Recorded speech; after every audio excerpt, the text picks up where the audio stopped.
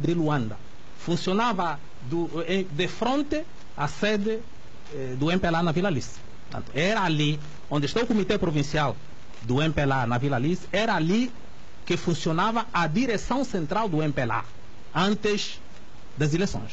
O MPLA era ali, a sua reputação oficial em Luanda. Eleições que não virão a acontecer. Que não, que não viria a acontecer. Mas estava a dizer que, a uma determinada altura, Agostinho Neto chama-nos e só mais tarde viemos a saber que isso tinham sido instruções do, do, do, do, do, do- Rosa Coutinho, eh, como dizem, primo da Maria Eugênia Neto, que era parte do integrante do processo de descolonização da Angola. Agostinho Neto diz, meus senhores, nós não vamos fazer eleições. A independência não se entrega, arranca-se. E nós temos que arrancar a independência. Aqui não haverá eleições. Primeiro, porque a independência não se entrega, arranca-se. E segundo, que se formos eleições, o MPLA perde. Quem está em condições de ganhar as eleições neste momento é a UNITA, dizia Agostinho Neto. Como? E explica. Veja bem, que se nós funcionarmos na base tribal, o MPLA só tem três províncias que falam Quimbundo, que é Luanda, Bengo, Malange e Kwanza Norte. O, a FENELA tem um bocado mais, que é o Bazacongo, Só e, e, e o Iji. As eleições iriam e vão ser ganhas pela UNITA, porque a UNITA tem o resto das províncias, na altura de distritos, que compõem Angola. Todos eles falam o Vimbundo, falam o Umbundo, e se houver eleições, a UNITA ganha esmagadoramente. Por isso, vamos utilizar o plano A. Fazermos confusão e corrermos com esses lacaios daqui. Então foi pela primeira vez que eu ouvi o termo lacaio. E agentes do imperialismo, porque a nossa opção é socialista e comunista e temos que correr com esses homens. Nós éramos jovens, eh, mais militares do que políticos, é só agora que eu fiz cursos e, e me inteirei de outras, outras nuances do- da política do MPLA. Nós aceitamos que íamos fazer. E então começam as provocações. E antes das provocações, eu próprio fiz parte eh, ao grupo que foi receber as primeiras armas vindas da Roménia e de talvez da, da, da- da Checoslováquia, uma coisa assim parecida, que vieram num barco sob a bandeira do, da, da Guiné-Conakry, ali onde estava o Secutoré. Esse barco, eu tenho os apontamentos lá no, no- no- meu diário, atracou nas Palmeirinhas, Palmeirinha é quem vai lá no Benfica, e dali à noitinha fomos transportando as armas para os bairros e distribuímos no Rangel, Sambizanga, Kazenga, Golfe, ali por diante. Pois que quando as provocações começam, não foi diretamente com a UNITA, porque a UNITA podia ser poupada. Mas o maior problema era da FENELA. Primeiro porque eles tinham notado, os, os- os dirigentes mais, mais, mais, mais posicionados, eu era do intermédio, então tínhamos o, o- o- a direção, eu estava no intermédio, depois tínhamos as bases. Eh, vimos que a UNITA não constituía força perigosa para o MPLA, nem para nossas forças, mas sim a FENELA, que tinha comandos que não sendo da FENELA, mas sim do, do exército do, do Mobutu. E os treinos ou demonstrações que eles, que eles faziam punham-nos até de cabeça no ar. Eram indivíduos que saltavam do sétimo andar para baixo. Ele via no terraço no sétimo an- do sétimo andar, deixava cair a AK, a arma deles que eles usavam não era AK, era mais pequena, parece Sterling ou Uzi, uma coisa assim parecida. E ele, a meio do caminho, conseguia apanhar a arma e punha-se no chão em posição de fogo. Aquilo era incrível. Ele deixava cair a arma, ele mergulhava, a meio do caminho apanhava a arma. e no chão ele de pé em posição combativa. Aquilo aterrorizou-nos. Como correr com esses homens? Então teve que fazer o plano B. Envenenar a FENELA perante o povo. Então começaram a surgir os come corações, o assa crianças para os chefes comerem, aquilo tudo. Tudo aquilo foi montado. Não só pelos serviços eh, médicos, militares como civis. O falecido Macmaon, o próprio o Fragoso, que estava a fazer medicina naquela altura, está, está aí, o que está a falar agora, que participou nisto tudo, na montagem eh, eh, indiví- na- estas pessoas não é que eh, eram mortas para. Não. iam buscar cadáveres na casa mortuária, iam buscar pessoas que já morreram, crianças já morreram, eram lavadas, punham nas bandejas, eh, cortejavam, punham cebola, alho lá por cima, não sei o quê, e punham na geleira. Para quê? Para provocar o descrédito. E isso conseguiu-se. E então todo o povo aqui é lá como pessoa, como pessoa, como coração, não sei o que mais. Isso deu a revolta popular.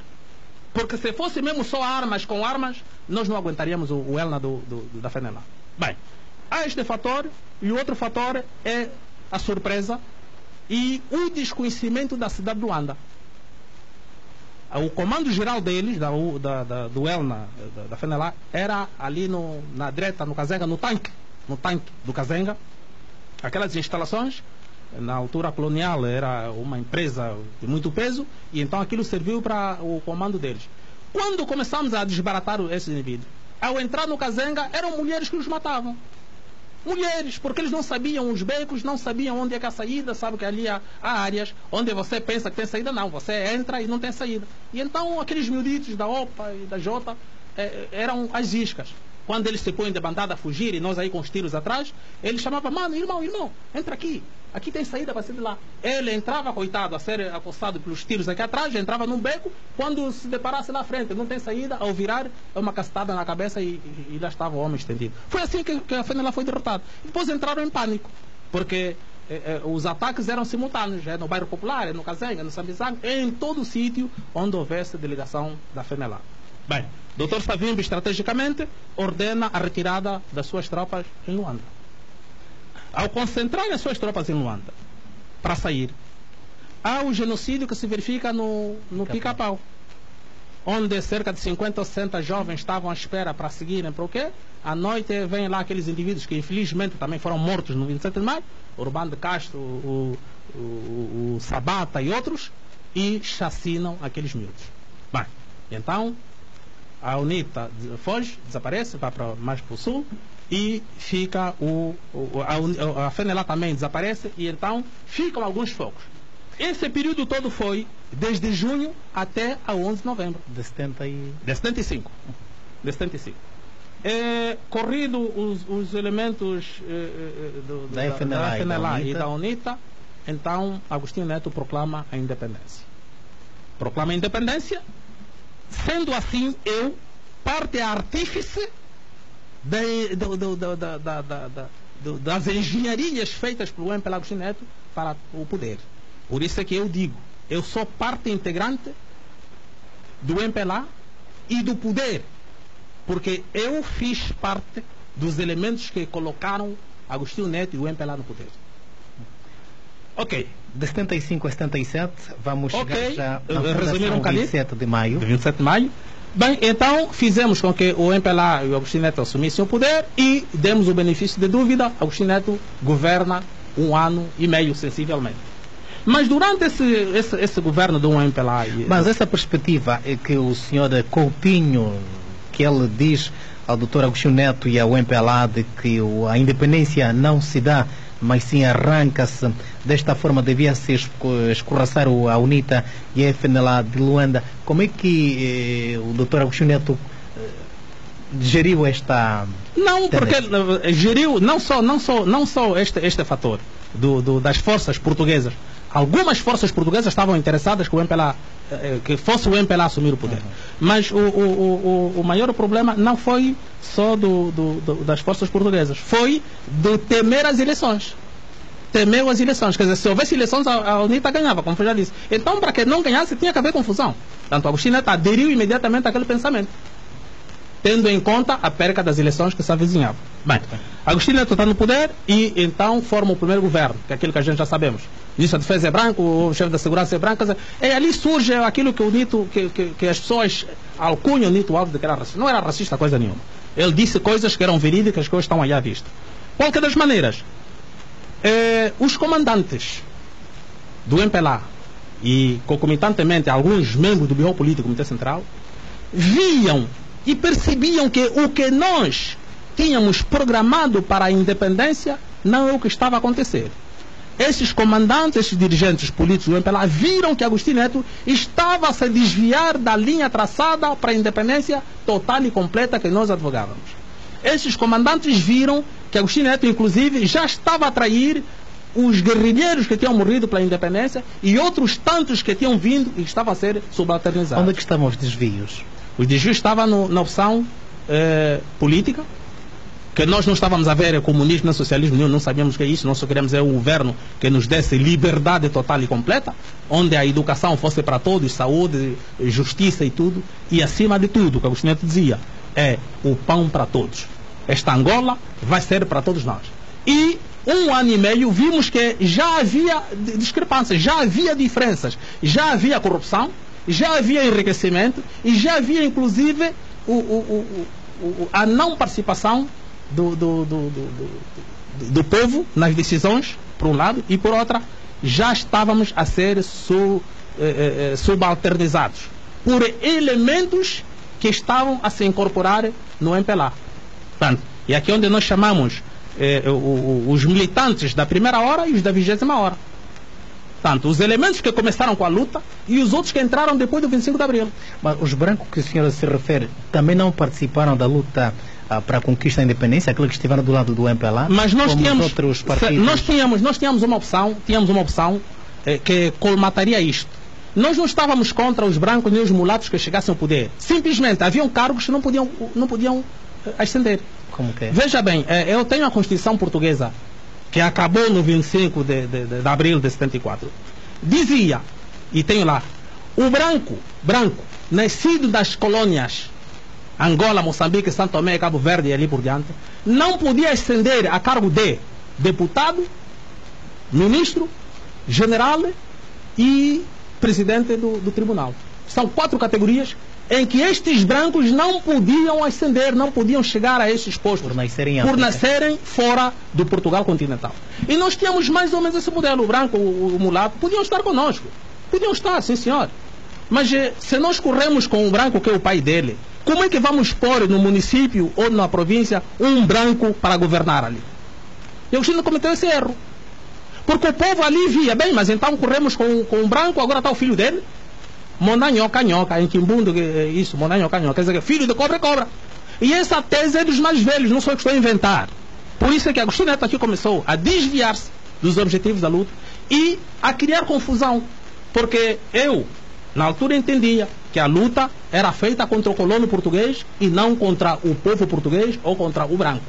Bem, se não era contra o, o, branco, era, era contra o colono, isso na versão política oficial, mas o meu avô não entendia isso. O meu avô sabia que o, o, o inimigo é o branco. Queria saber se é colono, podia chamar aqui colônia, mas o branco é o inimigo. Agostinho Neto, ao cometer esses erros, começou a se distanciar do, dos objetivos. E essas contestações eram discutidas a nível do bairro e a nível do Comitê Central. E eu recordo-me que Agostinho Neto, porque a nível das Forças Armadas, a nível das FAPLA, eu era membro do Comitê de Defesa da Guarda Provincial, da Guarda Presidencial. Aquilo que eu chamo o GP, Agostinho tinha Comitê de Combatentes da Guarda Presidencial. Eu tenho esse cartão.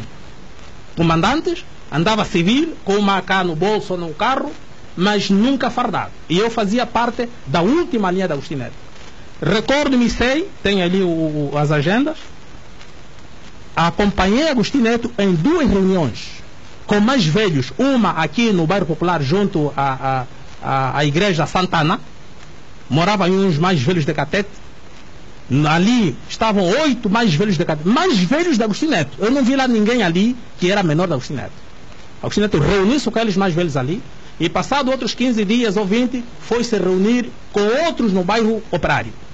Eu fazia parte da escolta do Chineto. E ali não houve sirenes, não houve escolta, não houve armas da rua, não. O Chineto foi no, no, no Volkswagen, com, com um chapéu de palha, aquele que nós chamamos de zamba, aquele chapéu tipo de camponês, sentado aí atrás, mais alguém ao lado dele, o motorista, e nós íamos em outros carros. Posto ali o carro de um do outro ficavam à distância, ia-se a pé, ninguém deu conta que o Agostinho está a entrar ali, as crianças continuam a brincar e ali se. Isso só para dizer que Agostinho Neto era intimado, era chamado para vir ouvir os mais velhos. Ouvir os mais velhos. E ele vinha. E muitas vezes lhe disseram, rapaz, estás a governar mal, o que é que tu queres? Primeiro que já cometeste um erro. Tu foste estudar e trouxeste lá uma mulher branca. Esta mulher branca é que é a nossa mãe. Maria Eugênia Neto um dia vai ter que me agradecer. Porque se o 27 de maio pega, e eu já tinha dito isso, Maria Eugênia Neto seria divorciada e metida no avião de regresso para Portugal. Porque aqueles mais velhos do 4 de fevereiro já tinham uma Madalena de catete preta preparada para Agostinho Neto. Só que Agostinho Neto aceita a ideia, mas diz: não posso divorciar minha mulher assim. Vocês é que têm que exigir. E essa exigência seria na tal manifestação no Palácio no dia 27 de maio, onde o povo iria obrigar Agostinho Neto a dissolver o Comitê Central de Jogo Político e mandar embora Maria Eugênia Neto para se casar com uma preta angolana, eh, africana, que para manter esta manifestação não deve se transformar no golpe de Estado que é alegado? É, essa manifestação não seria nem golpe de Estado, nem insurreição popular. Era somente uma manifestação popular acordada e aceita por Agostinho Neto para fazer estas mudanças. Agostinho Neto não queria ser eh cúmplice, eh, não, não, não queria ser o culpado da dissolução do Comitê Central do Comitê Central e o político e do casamento. Mas ele aceita se isto fosse feito na, pelo, pelo povo, numa manifestação. O povo dizia, Agostinho Neto, você não pode ter mulher branca por causa disso, disso, disso. Por favor, divorcie essa senhora, crie as condições e manda embora. E Agostinho virava sua esposa e dizia, estás a ver? Vamos nos separar, mas nem minha vontade, é vontade do povo. De igual modo o Comitê Central. Até que ponto esta situação terá precipitado a morte de Agostinho Neto? A morte de Agostinho Neto veio depois do genocídio de 17 de maio. Eu já disse uma vez e hoje volto a repetir, Agostinho Neto foi a última vítima do 27 de maio. Os homens que mataram e desmataram no 27 de maio são os próprios que mataram Agostinho Neto. Como explicar isso? Isso se explica porque quando Agostinho Neto, eh, semi-bêbado, se não estava mesmo bêbado, porque ele era propenso ao álcool, bebia chivas. E eu acompanho muitas vezes garrafa de uísque aí na secretária beber, a escrever. pessoas talvez não convinha levar. Não, não, não, mas muita gente sabe. Não há nenhum elemento do birro político no texto do MPLA que não sabe que o Neto era propenso ao álcool. Que ele bebia uísque. E até às vezes, como não, não, vi, mas consta que às vezes até mijava-se na cadeira. Quando estivesse aí já muito semi. Perguntava okay. assim. Mas então, quando Agostinho Neto decreta a morte aos fracionistas, sem perdão, sem julgamento e sem perca de tempo, os oportunistas, os elementos que não viam de bom agrado, estes comandantes que saíam no seio do MPLA, viram nele a oportunidade para silenciar e exterminar esses homens. Então temos ali o, o comandante Nito Alves, o monstro imortal, o Sihanouk, o Bakalov, o, enfim, tantos outros. Comandantes de verdade, militantes acérrimos do MPLA, foram mortos. Agostinho Neto vai numa reunião da OA e ali o senhor, na altura presidente do Senegal, Agostinho Neto, com aquela fisiologia dele, porque estudou em Portugal, é menino de Coimbra, veio lá do quê? A falar em democracia e liberdades, calaram-lhe a boca. Agostinho Neto a falar em liberdade e democracia onde? Em Angola? Senhor segura no envelope e entrega-lhe mais de 50 e tal fotografias do genocídio do 27 de maio. Agostinho Neto olhou e disse, mas isso é o quê? Isso é o que está acontecendo no teu país. Estes cadáveres, esses buracos, esses tratores a passar por cima do que essas pessoas arderem, é no teu país. Agostinho Neto abandonou a reunião. Se estou a mentir, aí elementos do MPLA que podem confirmar isso. O próprio Dino Matroz, o presidente Zé Eduardo Sado sabe disso, e outros tantos, um Vunda e outros que ainda estão vivos. Agostinho Neto posto aqui em Angola, inteirou-se de facto o que estava a acontecer, e no dia seguinte dissolve a DISA. Está a querer dizer que eh, quando isso ocorre ele não sabia? Ele sabia, mas não na dimensão em que estava a correr. Ele sabia que havia mortes, porque ele até num dos seus discursos diz: Todos os dias recebo cartas, recebo recados a dizer que o meu filho foi preso, o meu filho morreu, o meu tio, o meu, meu cunhado. E ele diz: Bem, então vamos ter que parar com isso, porque o responsável sou eu. Recebo carta todos os dias que morre gente, mas então vamos parar com isso. Como eu já mandei parar e a DISA não quer parar, então dissolvi a DISA. E vou proceder prisões de elementos que excederam. É ali onde surge a morte de Agostinho Neto.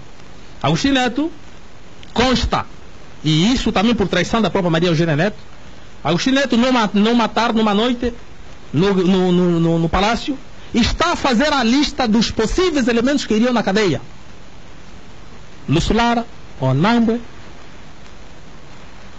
eh, Ico, eh, o Sassunda, Pedale, enfim, essa gente toda.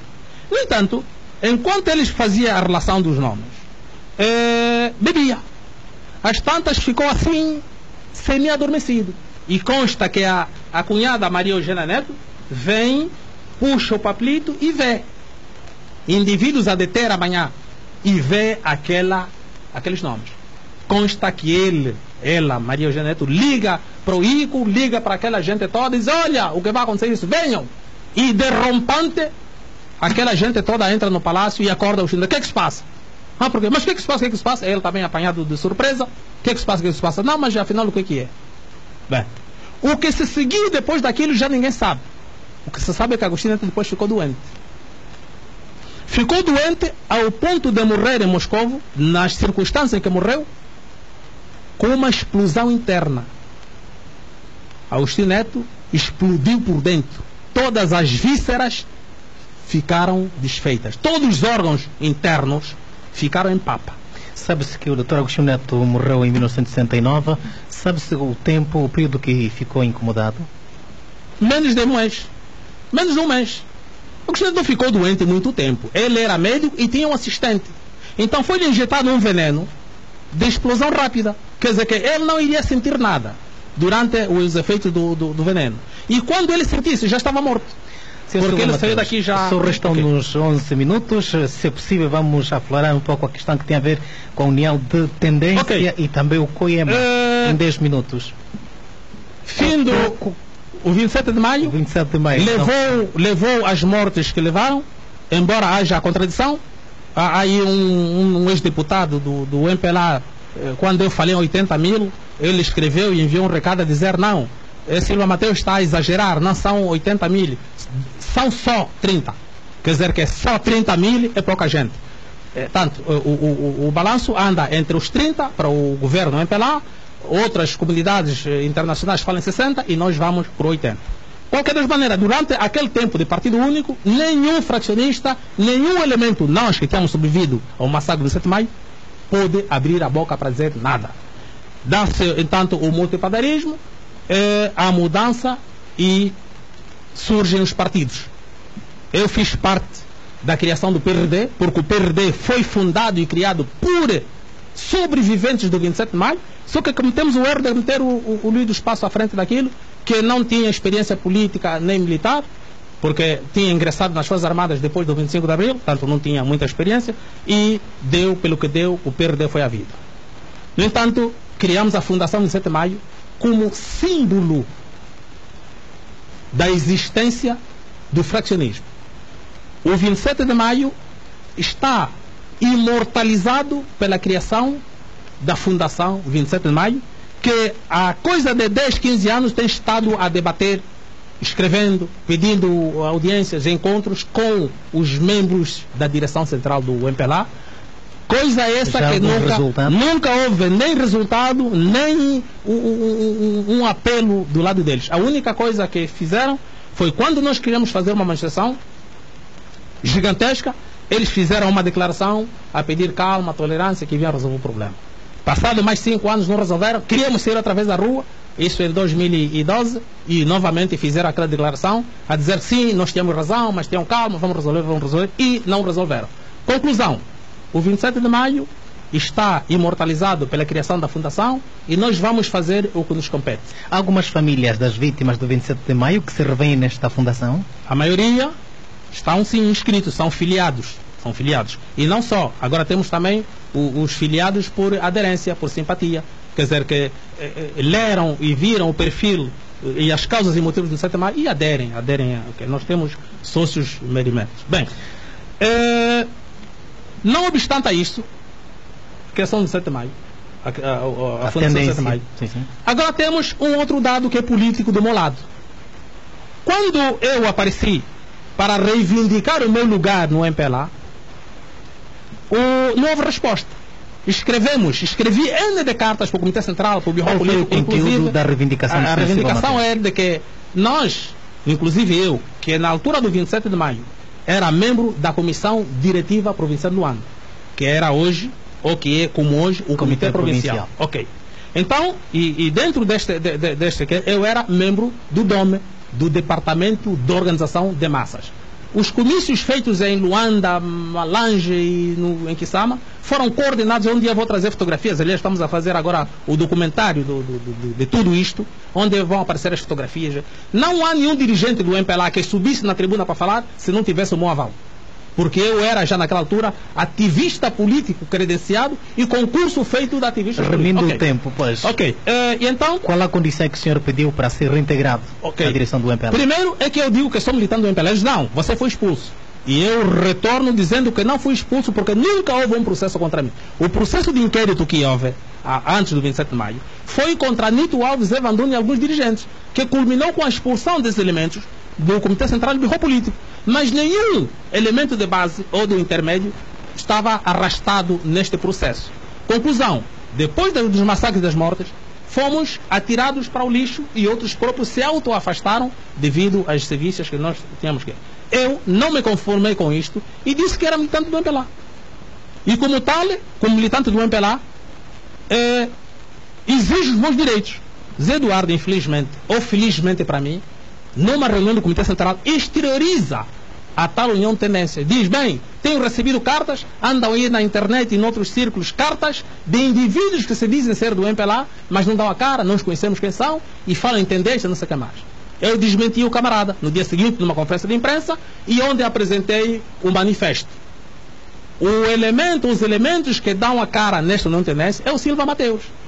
Juntei toda a minha documentação, inclusive os documentos que eu aqui citei, passado para o Agostinho Neto. A resposta dele foi de que eh, pensou que esse Silva Mateus tivesse morrido no 27 de maio. Disse, não, não morri. Não morri, estou aqui. E como tal, exijo e reivindico. A partir daquela altura, faço uma luta acérrima com o presidente do meu partido, que, que, que se traduz no seguinte. O estatuto do partido, do meu partido, o MPLA, diz que qualquer militante, desde que se sinta capacitado e queira, pode concorrer a todos os lugares, inclusive de presidente do MPLA. Eu sinto-me capacitado, conheço o historial do MPLA do que muitos que estão aí hoje no Bureau Político do Comitê Central para poder liderar o MPLA. Só que eles dizem, a tendência presidencialista diz não, Zé Eduardo é candidato único e candidato natural. Eu me oponho veementemente a isto. Porque num partido onde há 4 milhões e 800 mil militantes, não pode um só ser candidato único, porque não só viola o Estatuto e a Constituição, mas como também põe-nos na falta de democracia interna. O senhor não constitui perigo para o MPLA? Eu não constituo perigo para o MPLA, pelo contrário, constitui, constitui, diríamos, uma, uma, uma voz credível e persuasora. Tendo, tendo em conta a sua posição crítica ao próprio MPLA? Sou crítico, crítico construtivo. A minha crítica é construtiva no sentido de, agora como união de tendência, fizemos, eu fiz chegar ao José Eduardo Santos um dossiê, que até exteriorizei isso nos órgãos de comunicação social, um dossiê onde nós punhamos uma acomodação política, jurídica, econômica que é do José Eduardo, se deixasse o poder. E o Zé Eduardo, presidente do MPLA, continua casmurro aí agarrado ao MPLA e à República. Perdeu uma grande oportunidade de sair pela porta da frente quando morreu Savimbi.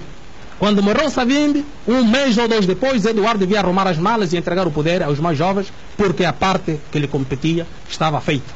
Estava feita, tinha conseguido a paz. Bem, deixou o tempo arrastar, aquela simpatia e aquele benefício que dávamos a ele, porque todos os males eram atribuídos ao diabo Savimbi, hoje se revertem contra ele. Savimbi morreu há 13 anos, tudo o que acontecia no tempo de Savimbi está a acontecer agora com maior gravidade, e agora quem é o culpado? O Zé Eduardo, tem que haver um culpado. Ele é o chefe do executivo, é o presidente e ele é o culpado de tudo o que acontece. Qual é a sua Mas posição? estava a dizer, o senhor pa- graceia alguma simpatia por parte de alguns dirigentes do MPLA? Certo, ativo? certo. Ainda agora estava aqui mensagem a dizer, olha, nós estamos, está aqui uma mensagem a dizer, eu estou contigo, estamos juntos, simplesmente não posso xixir no prato em que como. Quer dizer, isso é para dizer que muitos elementos do MPLA, Bureau Político, Comitê Central, deputados, sabem, conhecem, estão a ver onde é que o Zé Eduardo está a conduzir esse barco. E muitos deles querem saltar. Só que ele vai intimidando, vai persuadindo. Porque quando um dirigente ou que diz, não, estou doente, quero deixar, aquele é tudo truques. Já estão a ver que o barco está a ser mal conduzido, E quando está a ser mal conduzido, então temos que deixar ou saltamos ou despenhamos com o barco porque o, o, o, o comandante eh, não, é, não, é, não é bom. Nós Bem, vamos sair daqui do barco da Rádio Despertar. Vamos ver, Dos vamos, estúdios, no caso, vamos ver. três minutos. Ok. Eh, no Congresso passado, devíamos ter eleições. O Congresso de dezembro passado, o MPLA esteve reunido. Não é assim? Devíamos fazer o Congresso onde iríamos eleger o- o- a nova direção, inclusive o presidente.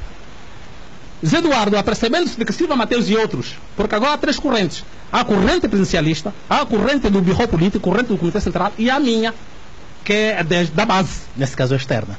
Não, Não, não, é, não é externa, é do MPLA, só que é das bases. É das bases. E eu tenho estado a fazer todo um trabalho, você vai em todos os bairros, já não há CAP, os CAP só existem na casa. Os militantes já não vão lá. Se está lá o coordenador, está sozinho, não, não. Senhor Silva Mateus, há quem diga que José Eduardo dos Santos neste momento está a fazer a transição do MPLA, do MPLA dos anos 70, 60 para uma nova geração.